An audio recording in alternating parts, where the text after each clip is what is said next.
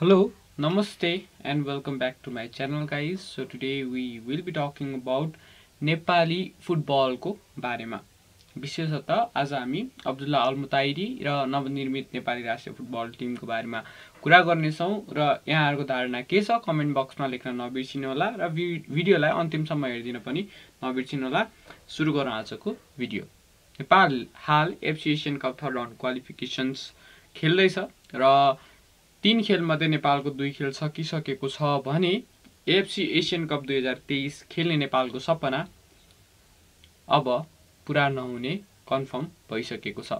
दुई खेलमा लगातार हार बेहोरिसकेपछि नेपाली राष्ट्रिय फुटबल टिमले एफसी एसियन कप दुई हजार तेइसको ढोका आफ्नो लागि बन्द गरेको हो।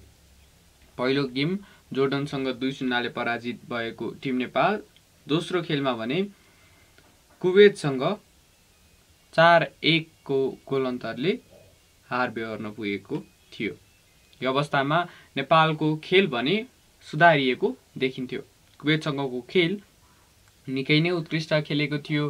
गोल अन्तर ठुलो रहेर या भनौँ नतिजा आफ्नो पक्षमा पार्न नसके तापनि नेपालले खेल भने उत्कृष्ट खेलेको विश्लेषकहरू बताउँछन्।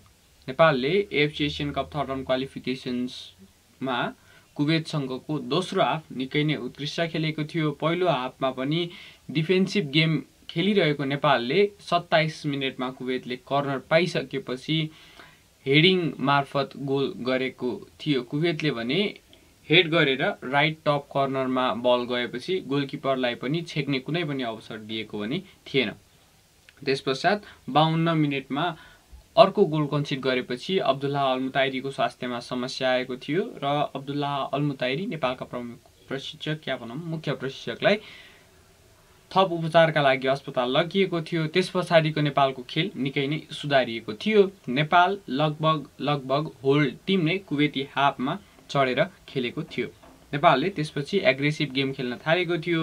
नतिजा स्वरूप नेपालले दोस्रो हाफमा तिन गोल कन्सिड गरेको थियो भने एक गोल पर्काउन सफल भएको थियो। तर गोललाई नहेर्ने र होल गेम प्ले हेर्ने हो भने नेपालले बल पोजिसन पनि आफ्नो पक्षमा राख्न सफल भएको थियो भने खेल पनि उत्कृष्ट राम्रो मुभहरू बनाएको थियो। अनफर्चुनेटली नवयुग श्रेष्ठको एउटा सर्ट क्रसबारमा लागेर बाहिर पुग्यो र केही सर्टहरू गोल हुन सक्ने चान्सेस भएका सर्टहरू केही कुवेतले रोकेको थियो भने स्ट्रङ कुवेती डिफेन्ससँग नेपालले उत्कृष्ट फिनिसिङ भने निकाल्न सकेन जसका कारणले नेपालले गेमभरिमा एक मात्र गोल गर्न सफल भएको थियो भने नेपालले चार गोल कन्सिड गरेको थियो। यो अवस्थामा नेपालले इन्डोनेसियासँग कस्तो खेल खेल्ला भन्ने सबैको चासोको विषय रहेको छ। इन्डोनेसियाले पहिलो खेल कुवेतलाई दुई एकले हराएको थियो।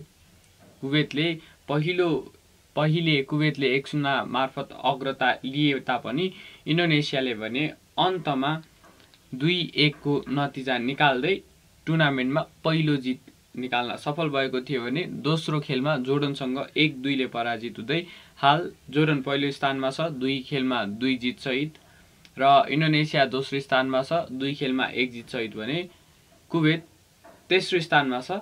दुई खेलमा एक जितसहित र नेपाल हाल अन्तिम या भनौँ चौथो स्थानमा छ र नेपाल हालसम्म जितको खोजीमा मात्र रहेको छ भने नेपालले दुई खेलमा दुवै खेलमा हार बेहोर्न पुगेको थियो। यो अवस्थामा इन्डोनेसियासँग नेपालले कस्तो प्रदर्शन गर्ला सबैको चासोको विषय रहेको छ। तपाईँहरूको प्रेडिक्सन के छ कमेन्ट बक्समा लेख्न नबिर्सिनुहोला। आजको लागि पनि भिडियो यति नै।